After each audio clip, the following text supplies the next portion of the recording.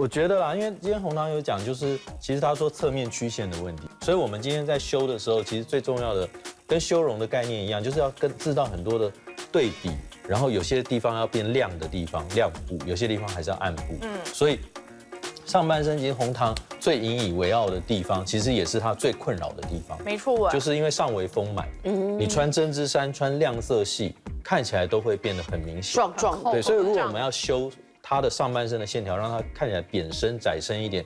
我觉得深色系是最好的选择。明白所以外面我先用一个皮衣啊，那一样就是比较肉的女生，我还是建议合身款的皮衣。会比落肩款的看起来不会是那个球状的感觉。呃，除了这个外套之外，你看里面这个衬衫也是给他选择黑色系的。然后尖领对，然后里面这个衬衫呢，瘦哎，对，你看，你看它这个衬衫本身是硬挺的材质哦，就是如果你像红糖一样上围比较丰满或者比较原生的女生，我建议衬衫有各种的面料，对选择比较属于衬衫布，男生西装会穿的那种衬衫布硬挺型的，它比较能修饰我们的身形。哦，那像我给他选择这一套上半身，它在在这个瘦地方，你看还有很漂亮的这种荷叶边，对啊，做一个荷叶边，然后我建议就是还是一样，把我们的这个手腕露出来，好。就是让你瘦的地方露出来，然后这个地方露出来，可是不用去强调胸，反而看起来是很很纤细的，嗯，然后呢，脸就会变得很小。那下半身这个裙子呢，其实也是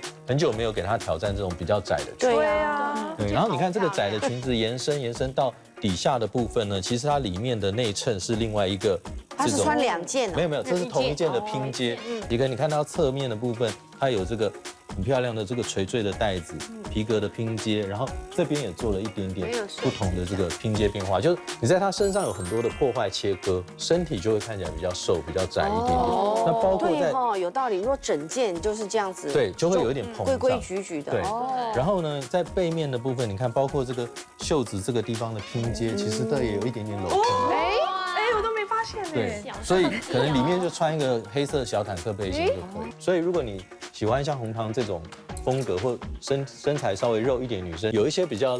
立裁的裙子，像这种，如果在春天一点点这种碎花，然后它很很立体，这个是绝对显瘦的。你看这样穿就不一样。你看这边的这个。裁片哈，它全部是可以遮住我们的腹部，因为它这个立体空起来，所以在侧面看起来线条就会瘦。对，或者是绿色一样，在二零一九非常流行。因为我们讲二零一八开始森林绿大流行，可是绿色我建议大家就是你们要穿的时候，选择在下半身离脸比较远的地方安全，因为绿跟黄这两个颜色，我们东方人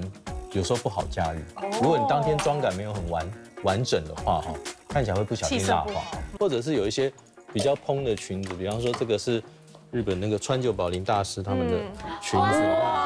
这样，非常漂亮的蓬松的，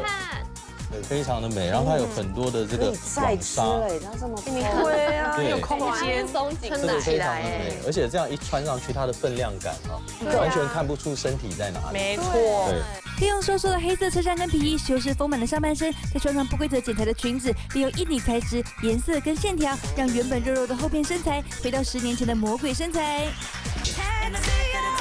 传授美丽秘籍，都在《女人我最大 App》，拥有最强神级团队，让你成为时尚焦点。达人指点，美丽多一点，女人我最大 app，快来下载。